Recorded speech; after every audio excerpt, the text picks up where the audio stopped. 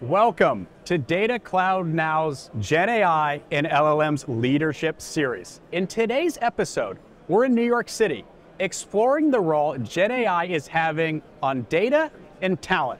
To explore this topic further, I'm delighted to be joined by Goutham Belliappa, Managing Director, AI and Data Engineering at Deloitte.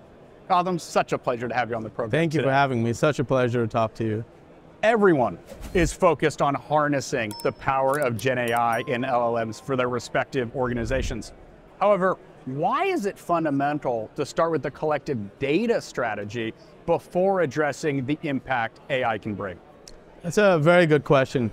Um, in the last six months, everybody's become an expert on generative AI. I was looking at a coconut water company the other day that said they are powered by generative AI. So what this has done in the market is we had somewhat of a fragmented data estate.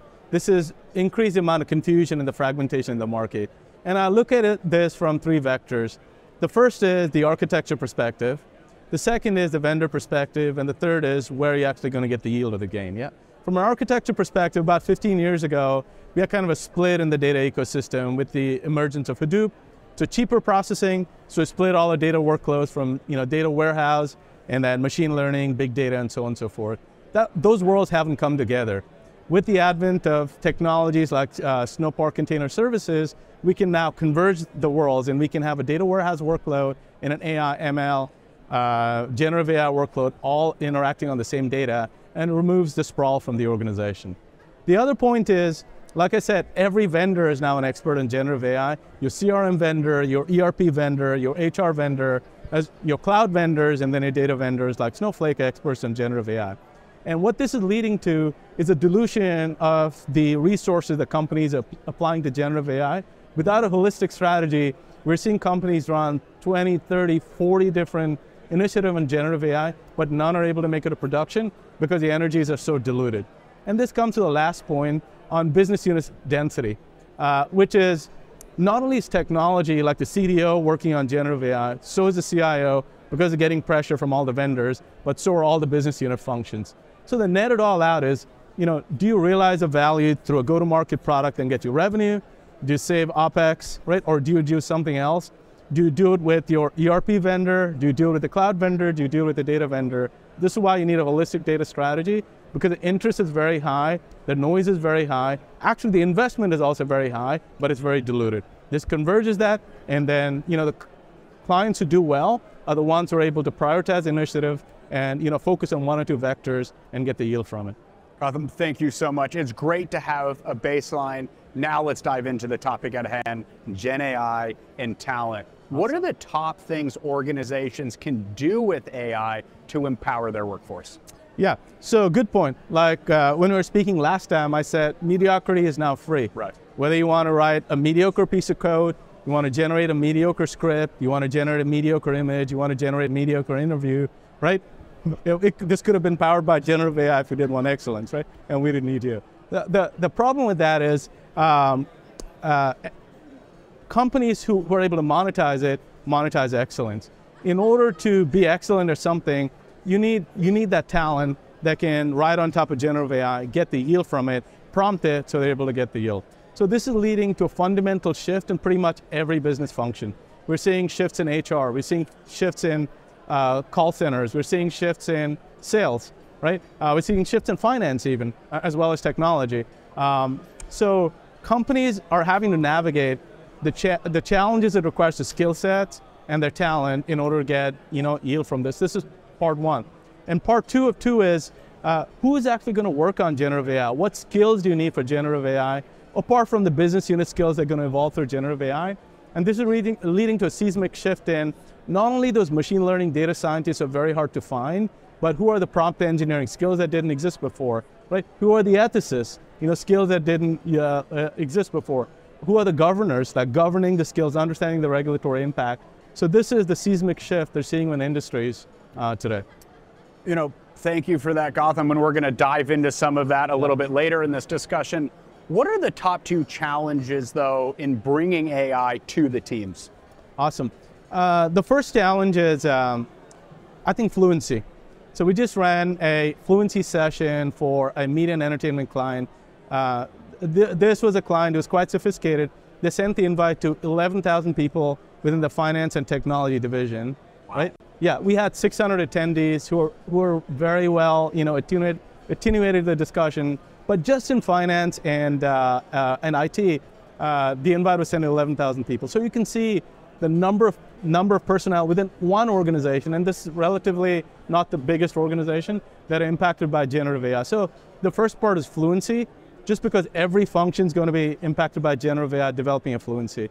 Uh, the the other impact is the the pace at which we're seeing uh, functions being impacted. It's it not all companies are able to keep keep track of the change. So we're seeing kind of a sprawl happening where you know, there's a separation between the winners and losers of people adopting it quickly and not. And we're seeing that across organizations as well, right? Uh, and, uh, you know, th- there's a big feeling, like with the writer's strike and all that happening in the media and entertainment industry, that there's a significant impact on the workforce, and the commercial terms, all of that that has to evolve because of generative AI. I'm so glad you mentioned workforce. Yeah. Uh, you know, as we are aware, AI builders are sought after talent, mm-hmm. but with the critical role of data in AI, what other roles are needed in order for a company to be successful across the board? Yeah.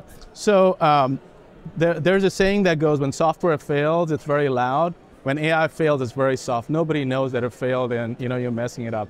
So the thing about it is, is that the quality of data has not significantly improved, but the quantity of data has increased exponentially.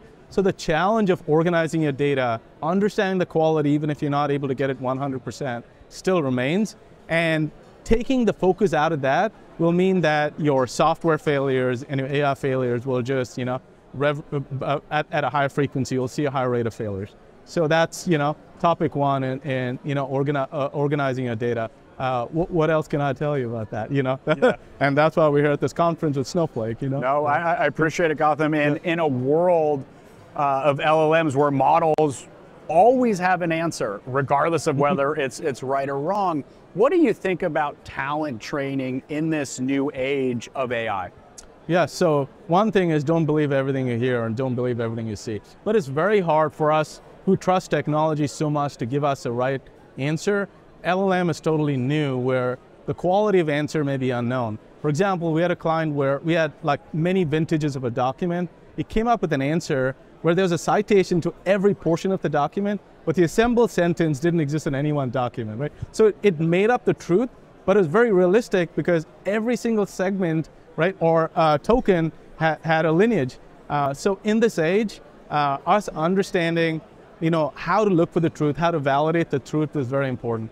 Uh, and we're seeing that people confuse the role of machine learning and the world of uh, generative AI, which is where do you need 100% reliability, rely on math, outsource that to a math function or an ML function? Where do you need a narrative made up by generative AI, where low precision and the narrative is okay?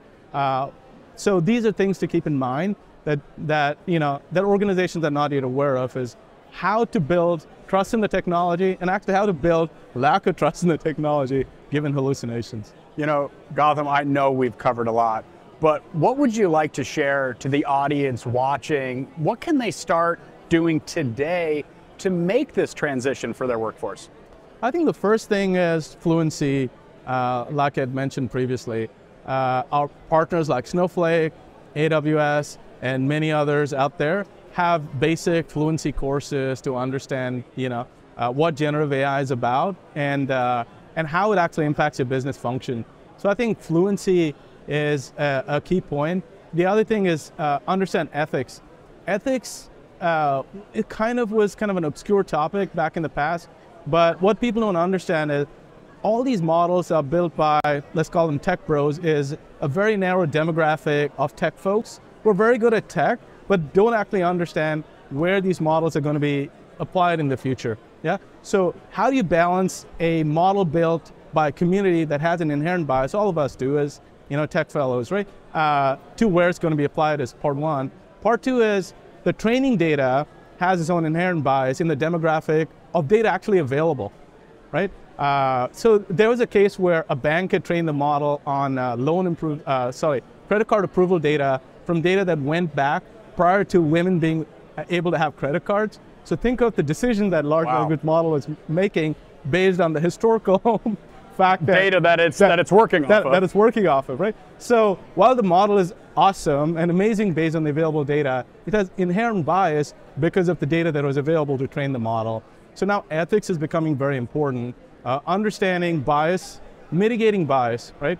Uh, and, and the complexity of this is, uh, the question comes up is, where do you mitigate bias? Do you mitigate bias in the technology? But technologists like me, I have no clue what the application in HR or credit card approvals or government is, is but, but we can all build a model and bring it to production, right? Do you regulate it in the technology or do you regulate it in the use case, right? So these are questions that are coming up, but they're kind of under the table.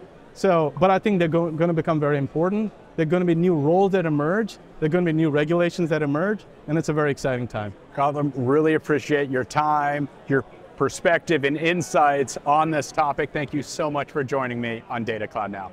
My pleasure. Always a pleasure talking to you. Thank you so much for having me. Let's continue the conversation in a couple months from now because it's likely could have Yep. changed as well. Exactly, and it will. For the audience watching, I'm Ryan Green with Data Cloud Now. I'll see you soon.